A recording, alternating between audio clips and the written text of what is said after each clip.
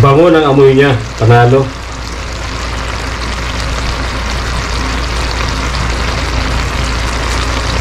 Okay, ihain na natin. Luto na ang ating adobong sitaw with magic. Ayan, mag-aadobo tayo ngayon ng sitaw with magic. No? With magic sarap.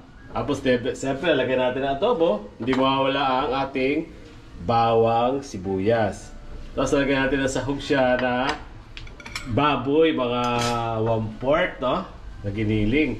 Pero mostly, magic sarap. Tsaka, siyempre, hindi naman mawawala ang toyo sa adobo. At siyempre, suka. Lalagyan din natin siya ng konting suka. Ayan. Umpisa na natin mag-isa. Prito muna natin yung ating yung ating baboy. Iprito lang natin ng konting baboy para wala yung Ayan. Pwede mo tapon yung konting tubig para matuyo ka agad. Ayan na, nilagay na natin yung bawang. Pagkinisa natin baboy.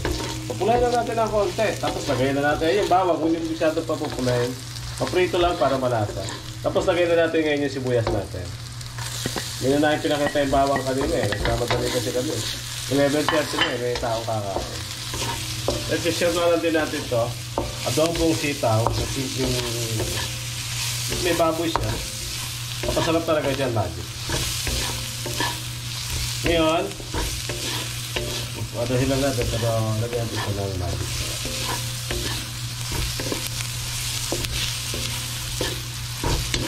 Yan ang ano. Yan ang adobong sitaw ni Orel Moto. Orel Moto style. Hindi na sa ulam lang. Hindi na pulutan. Ulam lang. Ayan na. Ang magic ng ulam natin. Para sumarap, lagyan natin ng magic. Eto, isama na natin sa gisa si Magic. Mas masarap daw kung igigisa natin si Magic para mas tumingkad yung lasa ng baboy. Isa lang, pwede na yan. Tapos sa sunod na natin. Sunod natin yung ating toyo.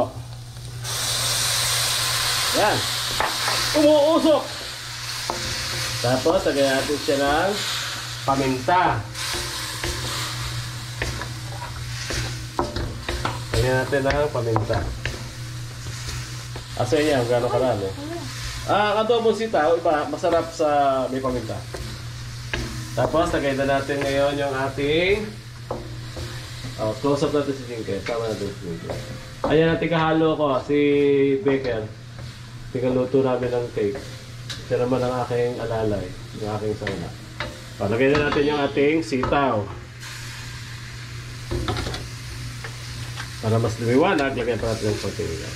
Ito yung sitaw, adobong sitaw. Natakot tali ito. Ayan, oh, diba? Yan, dalawa. Para magandang haluin.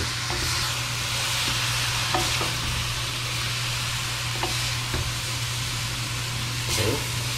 Tapos, lagyan din natin siya ng konting tubig para kasi yung sitaw medyo kanya. Siguro mga 1 cup lang ng baso. Tapos mamaya na natin lagay yung suka. Yan, 1 cup lang. Pero tapisin ko. Pero. Okay na yan. Tapos takpan na lang natin siya hanggang sa maluto ulit. Hanggang medyo dry. Okay. Tapos, may secret pa dyan. Lagyan natin ng kumpiyo. Gusto niyo lagyan ng oyster sauce, no? Para Ah, masa, masarap basta talaga. Parang ano, hindi lang si Magic ang magpapasarap. Lagyan Si niyo Mr. asukal. Oyster. Tsaka asukal para ano, matamis-tamis. Okay. Pero Magic sarap lang. Panalo na. Magic kaya yan. Magiging magic ang lahat. Basta may Magic, panalo.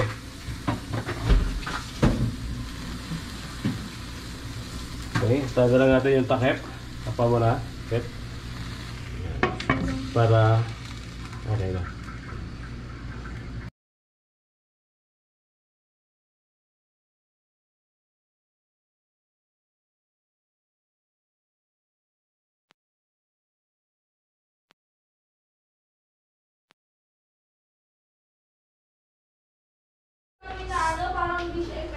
Okay, buksan na natin yung adobong sitaw. Ayan, luto na oh. Lambot na siya. Ang bango-bango na. Ah, lagyan natin ng konting suka. Kaya yung suka. Okay. Ito na, lagay na natin ang suka. Sanggalon to, pero konti lang siyempre lagay natin. Magkaroon lang ng konting asin. At saka di siya kagad masisira. Okay. Siguro mga, ano lang yan? Mga Wag- dalawang kutsara. wag no? hahaluin. Wag wag hahaluin, wag nyo rin tatakpan. Pero pwede na to. Hmm. Okay. okay. Ayan, lutong-luto na. Pwede na tayong kumain ngayon. Okay na.